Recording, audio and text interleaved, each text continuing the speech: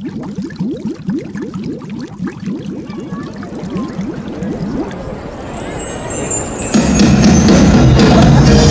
とイマジネーションのみにお集まりの皆さんこんにちは。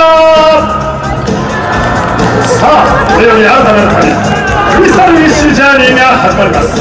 私は皆さんをこのファンタスティックなジャーニーへと導くクリスタルの世界からのメッセンジャークリスタルレッドです。どうぞよろしく。さあそれでは皆さんにクリスタルの世界についてお話をいたしましょうクリスタルの世界それはこの冒険とイマジネーションの海を旅する人たちの願いや思いが結晶化してできたこの海だけの光り輝く特別な世界です。さあこちらをご覧ください。こちらにはこのファンタスティックなジャーニーのキーとなるクリスタルがございます。紅の輝きをたたえた赤いクリスタル。そしてあちら側にはグリーン緑のクリスタルが。そして向こう側にはブルー青いクリスタルがありましてそれぞれ私と同じようにメッセンジャーがいるんですね。さあそれでは皆さんで元気に手を振って「おい」と呼びかけてみましょう。いきますよ。せーの。おーい。ああグリーンもブルーも手を振って答えてくれてます。ありがとう。離れていても心は一つですさて赤青緑それぞれの色には深い意味がありますそしてその意味を知ることができた時クリスタルに導かれるジャーニーが始まるのです。しかしそれだけではまだ足りません。なぜならこの旅はクリスタルウィッシュジャーニー。本当の意味でクリスタルを輝かせるには皆さん一人一人のウィッシュつまり願いが必要なのです。さあそれでは皆さんの願いを集めるダンスクリスタルウィッシュダンスをお教えしましょう。皆さん私の真似をしてください。よろしいですか？まずは右手を胸に心を込めて閉じて願いを込めて開きます。左手を胸に閉じて開きます。もう一度右手を胸に閉じて開きます。左手を胸に閉じて開きます。両手をクロスもう一度クロス回して開いて右手を胸に左手を重ねて願いを込めて大きく開きますもう一度クロスクロス回して開いて右手左手大きく開きます。皆さん素晴らしいあっという間に覚えてしまいましたね。私このダンスを覚えるのに15年かかったのに皆さん1分半ぐらいで覚えてしまいました。さあそれでは今度は音楽に合わせて踊ってみましょう。いきますよ。5、6、7、8右手開いて左手を開きますもう一度左手ですクロスクロス回して開いて大きく開きます。クロスクロス。回して開いて右手左手。もう一度。そうです。大切なのは願いを込めることです。最後に大きく開いて人差し指を空へひらめく海へ皆さん素晴らしいどうもありがとう。